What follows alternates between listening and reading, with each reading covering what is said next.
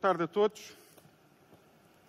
Bem, eu hoje tenho aqui um coquetel explosivo. Primeiro sou um político e depois estamos quase na hora do almoço e, portanto, eu espero conseguir ter a vossa atenção nos próximos 20 minutos. Eu, quando fui convidado para falar nesta, nesta conferência sobre liderança e tecnologia, é um tema que para mim é muito caro, tanto na minha vida académica como na minha vida profissional.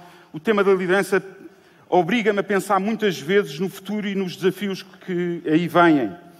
Liderança de instituições, de municípios, como é o caso de Cascais, de organizações, de empresas, do país, de partidos políticos, obriga-me todos os dias e constantemente a pensar sobre esta temática. E por isso mesmo hoje trouxe pela primeira vez uma apresentação que ainda não a fiz, mas espero que resulte. E se resultar, é porque eu passei a mensagem daquilo que vos quero dizer hoje. E eu quero. E era interessante passar o slide. Eu vou-vos falar de facto de um projeto de felicidade. Do meu projeto de felicidade. E o meu projeto de felicidade começa, começou quando nasci, mas teve uma transformação enorme há 10 anos. Eu queria chamar a vossa atenção para este, este, este apontador não está a funcionar mesmo. Se alguém consegue reconhecer nesta fotografia alguma cara conhecida. Pois bem, eu sou aquele tipo balofo, gordo, da esquerda, com mais 45 quilos do que tenho hoje, num momento diferente da minha vida e num momento diferente do meu projeto de felicidade. Hoje estou diferente, 45 quilos a menos. Mas não ficou por aqui o meu processo de transformação.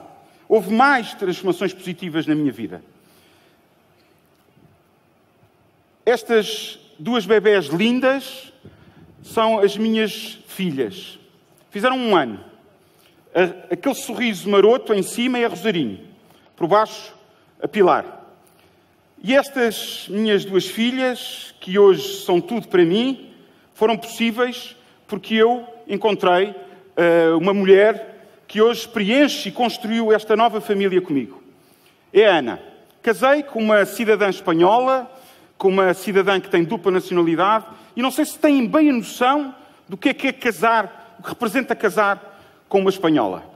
Devo-vos dizer que depois da resposta àquela pergunta, talvez a pergunta mais difícil que nós temos que fazer nas nossas vidas, e a resposta ter sido sim, houve um pequeno debate lá em casa. Ana, atenção que em Portugal uh, os maridos, uh, as mulheres ficam com, com, o nome dos maridos. Uh, e fez este silêncio que nós estamos agora a sentir aqui na, na sala. Porque se o meu nome era Miguel Pinto Luz, acabámos essa conversa com o meu novo nome, Miguel Martínez de Castro Pinto Luz. Esta partilha de culturas, esta partilha uh, uh, do poder familiar, esta igualdade de género também dentro da nossa família. Mas porquê, perguntam, perguntam vocês, porquê é que eu estou aqui, fui ao meu álbum de fotografias, e estou aqui há cinco minutos quando me pediram para falar de liderança, quando me pediram falar de tecnologia. Eu sou um político, vocês não estão nada à espera destas conversas. E eu fui ao meu álbum de fotografias buscar estas fotografias com menos 22% de risco de ataque uh, uh, cardíaco, as minhas filhas, que são tudo para mim, a minha mulher, o meu núcleo familiar, porque eu queria que hoje soubessem o que é o meu projeto de felicidade. É este o meu projeto de felicidade. E esqueçam o político, esqueçam o engenheiro, esqueçam o líder. Eu queria que vos focassem no meu projeto de felicidade.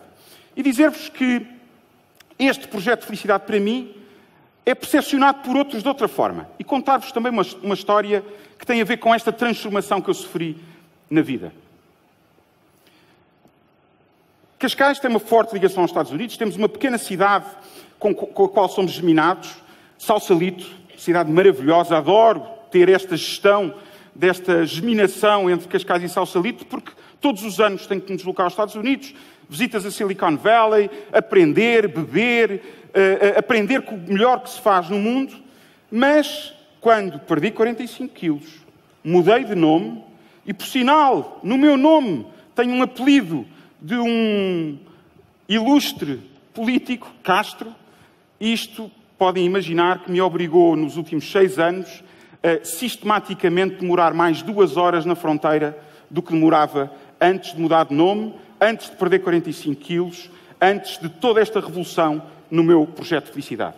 Houve uma máquina que fez uma triagem, que fez um screening e que me colocou imediatamente numa fila diferente, imediatamente num percurso diferente e que depois só o escalar para um contacto humano epidérmico é que conseguiu transformar e libertar esse fluxo negativo que aconteceu. E por isso, este conjunto de coisas positivas teve um impacto negativo noutra instituição. Agora imaginem cinco ou dez anos para a frente, eu gosto muito, muitas vezes de fazer fast forward na minha vida, o que é que acontecerá quando não existir esse layer, essa camada humana para fazer essa diferenciação? Quando forem só máquinas a, a, a fazer todo o screening e todo o controle de fronteiras no mundo. E por isso, agora voltemos a Cascais e voltemos à questão da liderança. Esta imagem é uma, uma imagem do Centro de Controlo de Cascais. Eu digo com propriedade, poderão descontar, primeiro porque sou político, depois porque sou de Cascais e depois porque fui o líder que conseguiu construir este centro de controle. É talvez o centro de controle de cidades mais avançado do mundo. Uma parceria entre nós e a Deloitte, um centro que quer ser um case study para o mundo, com capacidades preditivas, com capacidade de inteligência artificial, antecipar o futuro, antecipar os problemas que vão acontecer na urbe. É isso que hoje estamos a construir a partir de Cascais. Cascais tem uma massa crítica ideal para testar este tipo de soluções, mas temos que ter a noção que a tecnologia não é um fim em si mesmo. A tecnologia é um meio, e um meio que em Cascais utilizamos de uma forma muito presente, muito impactante, para transformar a vida dos nossos concidadãos.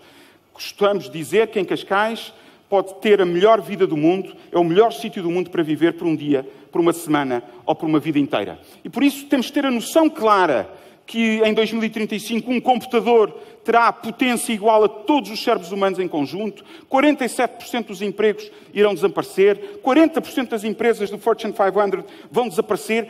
É esta disrupção absoluta que estamos a viver no mundo, num ritmo de obsolescência que mesmo para mim, alguém que tem formação tecnológica, é difícil de acompanhar.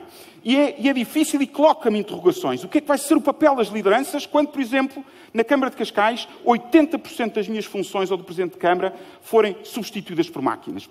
Tomar a decisão de tapar ou não tapar um buraco, tomar a decisão de recolher ou não recolher o lixo, tomar a decisão de ligar ou não ligar a iluminação pública, são tudo decisões que vão passar ao lado dos políticos. E por isso, dos líderes. E os líderes têm que pensar qual é o seu papel no futuro. Um futuro diferente, mas um futuro em que eu deposito enorme, enorme esperança, porque sou um otimista militante. 3.200 colaboradores, colegas, como gostamos de dizer em Cascais, mais de 216 mil uh, munícipes, um orçamento na casa dos 300 milhões de euros. Esta é a minha organização, é esta a organização que eu tento liderar, mas com esta perspectiva de termos a consciência absoluta e única, que temos que aceitar a transformação que estamos a viver e que temos que colocar as pessoas e os seus projetos de felicidade em primeiro lugar. Não interessa olharmos para as pessoas como números, interessa olharmos para as pessoas como projetos de felicidade que nós, líderes, temos a obrigação de ajudar a concretizar.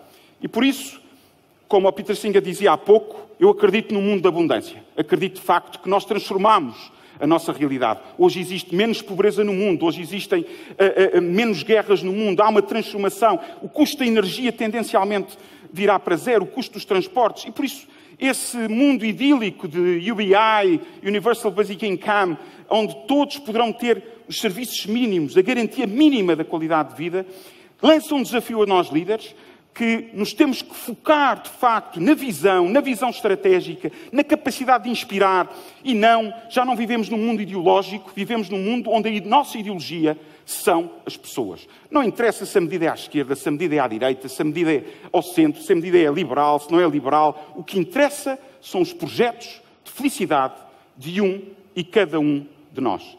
Esta era a mensagem que vos queria dar em 15 minutos, muito sigela, muito direta, e por isso fui ao meu álbum pessoal de fotografias para vos explicar o que é o meu projeto de felicidade. Muito obrigado a todos.